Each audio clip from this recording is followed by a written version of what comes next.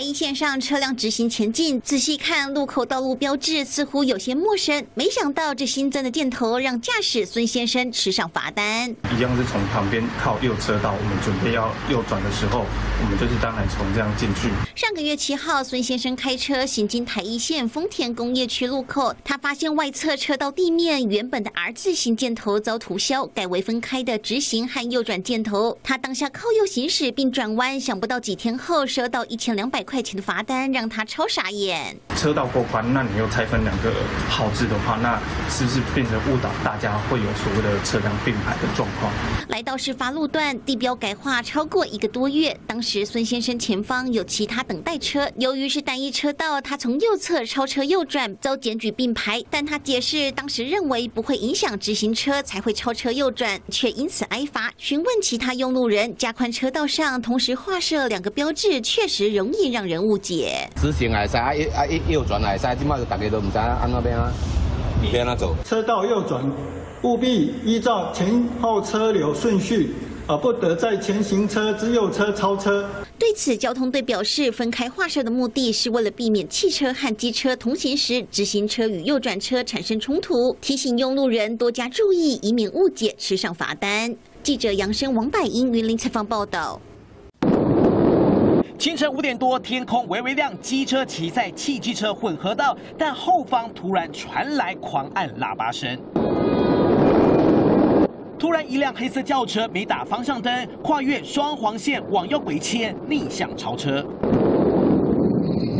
逆向超车还不够，轿车驾驶接着大脚用力踩刹车急停，后方骑士也赶紧按下刹车，差一点就撞上去，这是在逼车吗？行车纠纷发生在高雄凤山区自由路，影片抛上网，网友狂酸，挡到钣金喉了，超都超了还要急刹，还停下来让你拍车牌，这是贴心举动。被遇突发状况，在行驶途中任意拒人，减速新台币六千元以上三万六千元以下罚款。轿车超车又逼车，被行车记录器拍得清清楚楚。没打方向灯，急停逼车，逆向行驶，狂按喇叭，罚金加总最重四万两千元。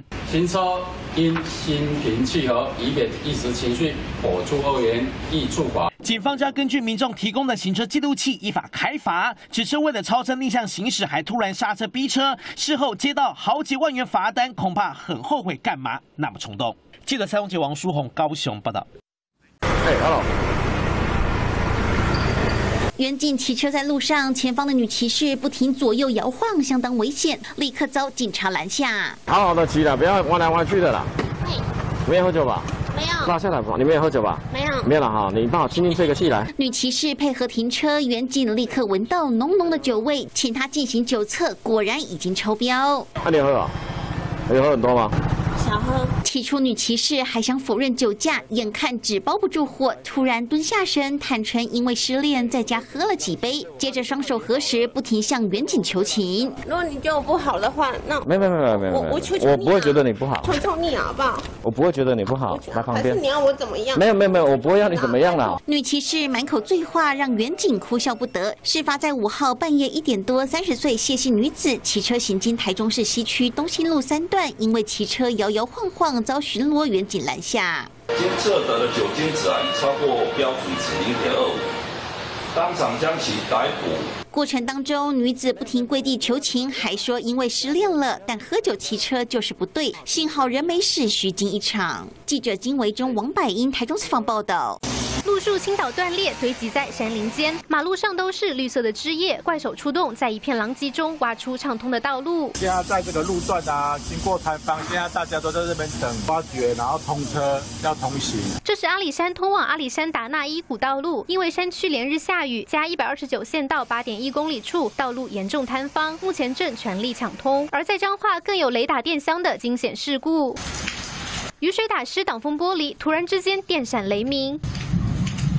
刺眼的巨大闪光，一瞬间阻挡住视线，而远处右前方更是闪出一团火球，像流星陨落般从半空坠落而下，画面惊心动魄。有发生爆炸声，然后就先停电，停电之后电就恢复了，嗯，还有第二声的爆炸声响。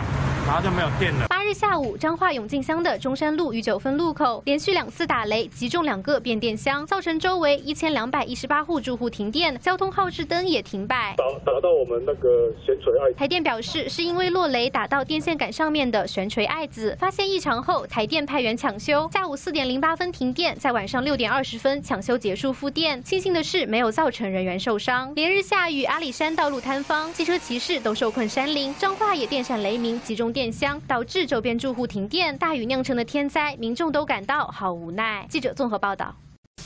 我是肖慧文，您的生活日常从每天收看中视新闻开始。中视新闻陪您度过平凡而充实的每一天。更多新闻也请您锁定中视新闻 YouTube 频道，记得按键、订阅、分享，还要记得开启小铃铛哦。